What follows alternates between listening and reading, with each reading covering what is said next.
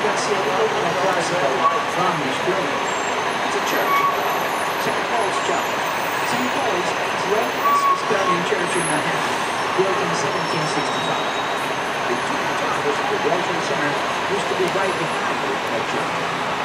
When the Twin Towers collapsed, not a single building of the church was built. Some people said it was a miracle. Well, they're not ready to lose the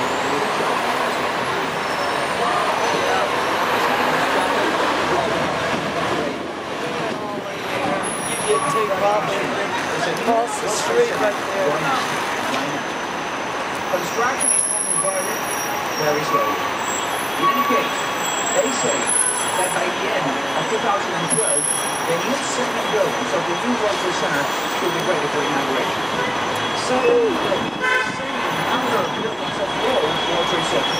But instead of twin towers, we have to think with just one, very tall, very important, very futuristic looking skyscraper. These buildings will be known as the Twin Towers.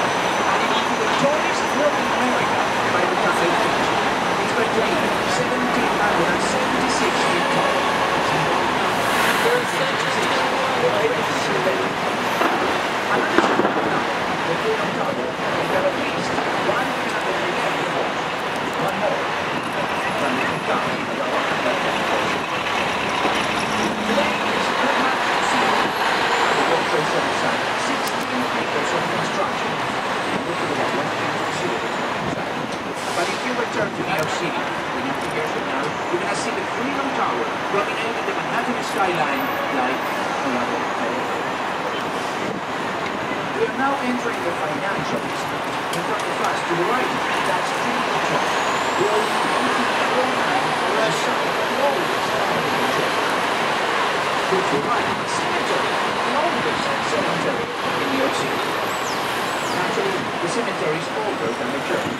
Maybe you remember Trinity Church from the movie National Treasure with Nicolas Cage. According to that film, the treasure was underneath the church. On this mountain there. If there was, they took it away.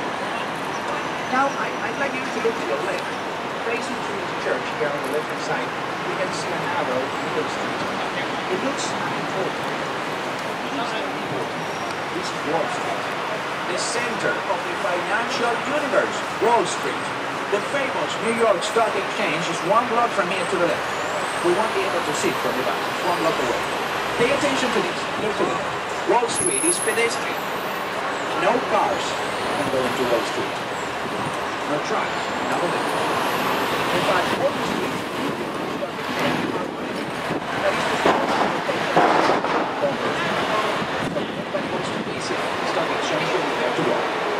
the next stop on this tour